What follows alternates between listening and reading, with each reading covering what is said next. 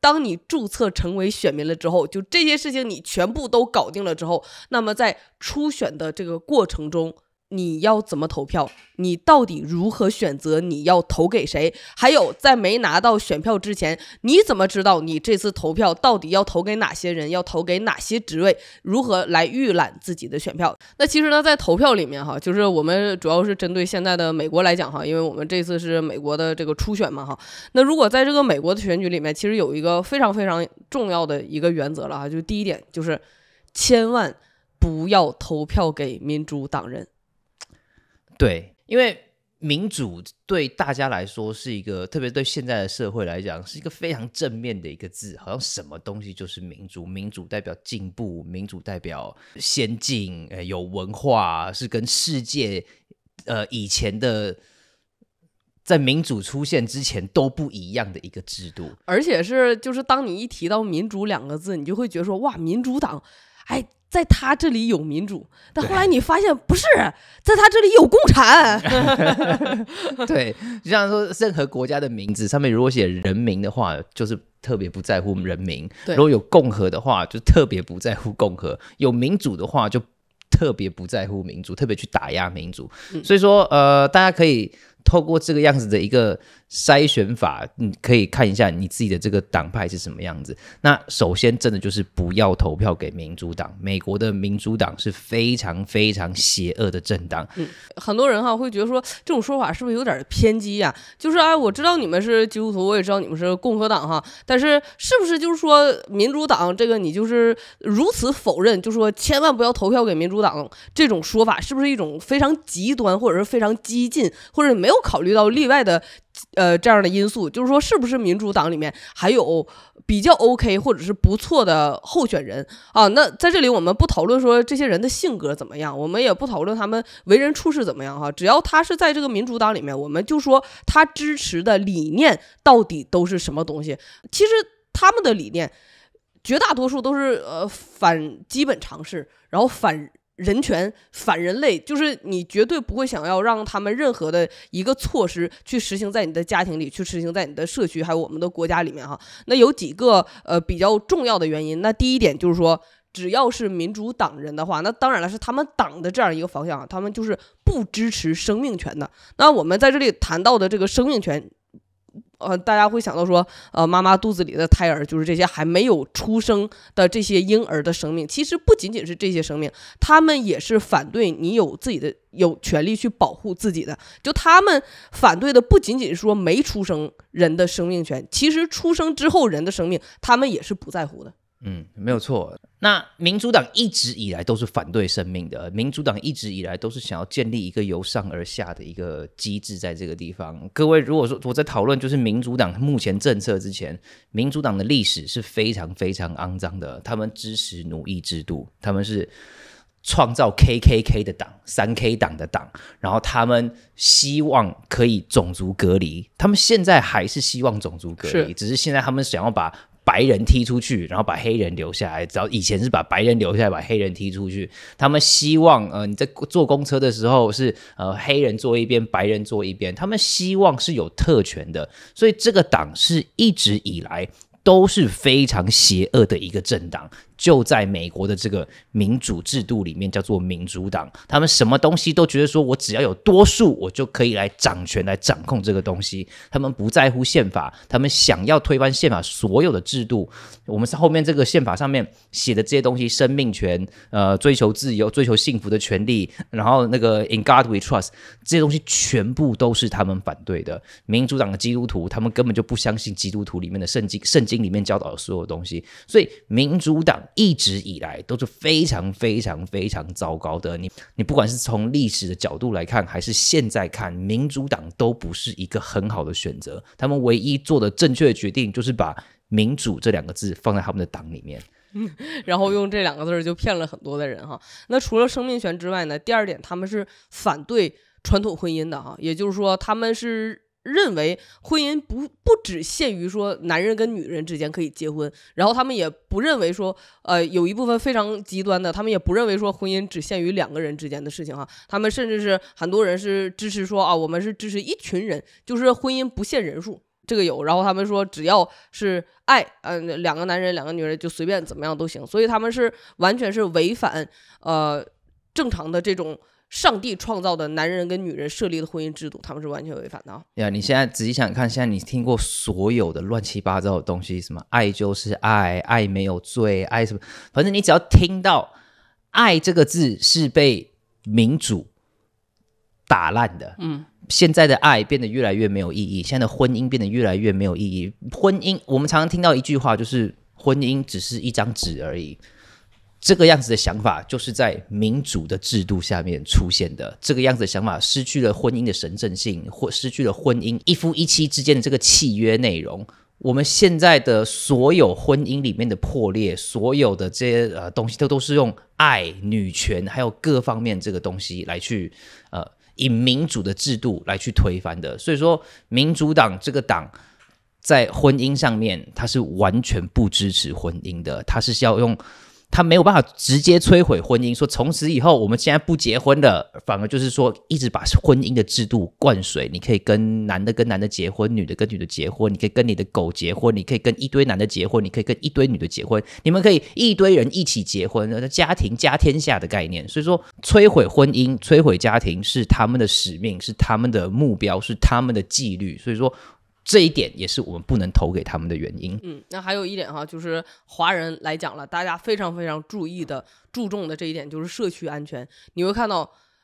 太惨了！我们看到很多新闻，就是华人的老头老太太，对吧？然后再去超市只是买个东西而已，然后结果被这些罪犯在那里暴打呀！然后打完了之后，那真是哎呀，打的满脸都是血，然后被人什么开车拖出去多少多少，然后身上的钱全部都被抢完了哈！为什么？因为这就是民主党的一个制度啊！他们释放罪犯，他们纵容打砸抢。我们看到在 Arcadia Mall，就在我们南加州 Arcadia Mall，在各种各样的地方，化妆品店，然后这个药品店。等等，你会发现很多东西都被锁起来了。为什么？因为不仅有人进去打砸抢，还有人偷东西啊！这个是我自己跑去问店员，就说你们为什么把这么多如此之普通二十块钱以下的东西，我说你锁它干什么？他说嗯，因为大家会偷，所以哈，就是啊，他们是释放这些罪犯，是纵容打砸抢哈，而且是他们。不会去定罪这些犯罪者，呃，这些犯罪者呢，通常警察千辛万苦把他们给抓进去了，结果后来警察一下班发现说，嘿，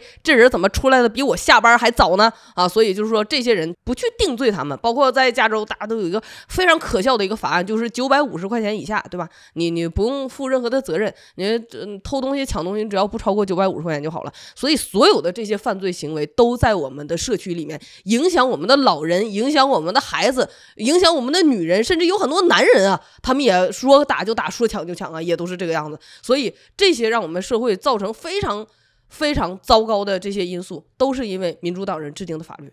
呀，呃，大家如果是跟我一样是差不多我这个年纪的，就是我大概国中的时候，你那时候听一三零零的时候，中讯高宁就会在节目上面讲说，哎呀，美国的警察其实是怎样怎样怎样，然后现在呢有一个 three strike law，然后你只要犯罪超过三次的话啊，你这个这一生就毁了，嗯，各方面这样的东西，他们一直在讲的就是警察很坏。警察是坏人，警察的权力越弱越好。然后呢，这些罪犯很可怜，这些罪犯其实是穷人，他们其实不是去偷 Nike 的球鞋，他们其实是肚子饿到只能去偷面包。然后我们反而是要帮助这些罪犯，他们用各式各样很奇怪的理由来去合理化所有的犯罪。现在加州可以从我们以前，我以前小时候。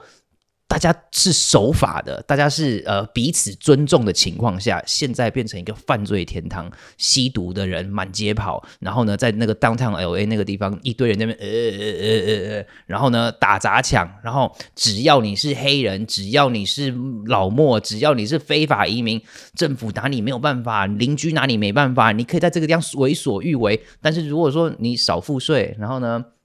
你这个 stop sign 没停，哎，警察是把你盯得死死的，他们就是一天到晚去允许犯罪在我们的生活圈里面干扰我们的生活，打我们的生活。现在如果你家被闯空门。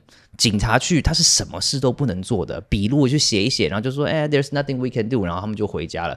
每一次发生的事情都是这个样子，警察没有能力去办案，也不想要去办案，办了案也没有用，因为马上这些犯罪的人就会被放出来。等于说，光是这些东西都是我们不能投给民主党的主要原因之一。对，那还有一点就是民主党是支持高税收哈，呃，说白了就是民主党根本就是他们支持共产主义的党，他希望说你赚的这些钱都不属于你的钱包，不属于你的荷包，就哎你这个人怎么这个样子，对不对？你赚这些钱，你多拿出来一部分嘛，我们大家一起拿这个钱去建立什么嘛？结果他拿你这个钱去干什么呢？他拿你这个钱，把你的钱去给到堕胎诊所，说我们多建几个堕胎诊所，我们多杀一些婴儿哈，然后我们多保护女人自由的权利，然后他拿你这个钱去干什么呢？去给这些非法移民啊，现在非法移民来了，对吧？然后说，哎，你给他们白卡，你给他们完全免费的健保，你给他们吃，给他们住，甚至我还看到说，非法移民哈，在纽约那边说到了宾馆里头，居然还有苹果电脑可以让他们上网去玩儿。嗯啊，所以呢是，这都是你的钱呢。有多少的家庭都没有办法给自己家里买一个苹果电脑，因为太贵了啊。但是我们可以说。你你咋这么没有爱心呢？你咋这么没有同理心呢？你如果要不交这个钱，你得到的还不是社会上的谴责呀？你看看你敢不交税，你试试。他都不是说来咱们大家一起做，不是，是你必须。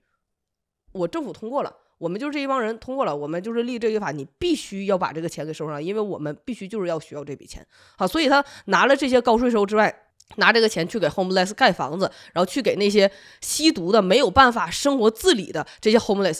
给他们建吸毒所，让他们进去继续吸毒，让这些人这一辈子都没有办法翻身，他们的生命基本上也就到这里，也就画上了一个圆满的句号。他们的圆满的句号就是画在政府给他们建的吸毒所的里面。呀，高税收不只是呃你的税会被提高而已，所有的企业税也都会被提高。企业税被提高是什么意思？就是企业它没办法成长，因为它多余的钱本来是要拿来扩张自己的这个事业版图的，现在全部要被拿去收税。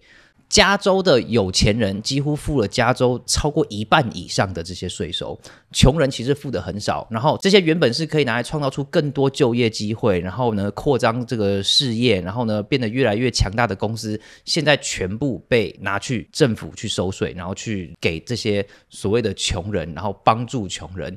我们不是在反对帮助穷人，我们觉得税是有必要的。像说警察你是需要税收的，边境管理是需要税收的，然后呃我们的这些什么 TSA 各方面的这些政府给出去的服务是需要税收的。但是现在他们使用我们的税是去雇一堆社工，然后呢不要警察做事，不要鼓励人家犯罪，建立吸毒所各方面的，然后要更多的社工跟医疗人员，他们什么事都没有做，然后就去那个地方领钱。他们是在创造出来一个福利的社会，然后还有一个政府保障下的工作的社会制度，所以我们不支持民主党推崇的高税收。嗯。而且民主党呢，还是完全 for 大政府哈，就是他们希望说政府能够建立更多的分支机构，然后越多分支机构越好，雇越多的员工越好。因为很多人会认为说，哎，只要政府越大，他们提供的服务的项目还有内容就会越全面。但其实并不是哈，因为这样的话呢，他们就会拿从你口袋里拿出来的钱去养一大堆的人，然后在这里面会有很多我们根本就没有办法知道的腐败的问题产生，然后各种各样的问题。而且不仅仅是这样，你你会发现。你办事儿越来越困难了。就它其实根本就没有更简单。你以为说哦，人多了，机构大了，然后所以我去到哪里就会变得比较方便。但是其实并不是这个样子哈。政府越来越大，它的权力就越来越集中。所以这就是那些立法委员，他们可以立法说，哎，只要我们州长说谁谁谁怎么怎么样，我们就可以有一些那个法律上面，比如说我给他们多拨款呢，或者我给他们惩罚，我不给他们拨款等等等等。其实这样子是创造一个巨大无比的政府。那什么叫大政府的概念呢？就是从中国来的，大家都知道嘛。好，这个 不太用多讲吧，大家都深有体会。大政府是一个非常。糟糕的一个制度。我们华人，我们会不管是从台湾来的，还是从中国大陆来的，还是从香港来的，我们对政府是有一个幻想的。我们会觉得说，政府会是好的，政府是为了我们好的，政府都是为了为了人民想。我们要一个明君出来，但是实际上就是没有人会为了你想。任何一个政府，它只会不断的扩大。任何一个政府，它目的就是要扩大，就是要说你听我的就好。每一个政府都会派出来一堆专家，什么 Doctor Fauci 啊，然后什么那个 NIH 的那个人，他还是个什么很虔诚的一个 Evangelical 的基督徒，各方面的这种东西，他们想做的事情就是告诉你说，我叫你戴口罩，你就要戴口罩；我叫你 six feet apart，你就要 six feet apart；我叫你干什么，你就要做什么。如果说你没有去做，你没有去服从的话，你就是社会的敌人，社会会乱就是你的问题。但是同时，刚刚说到那一串，他们。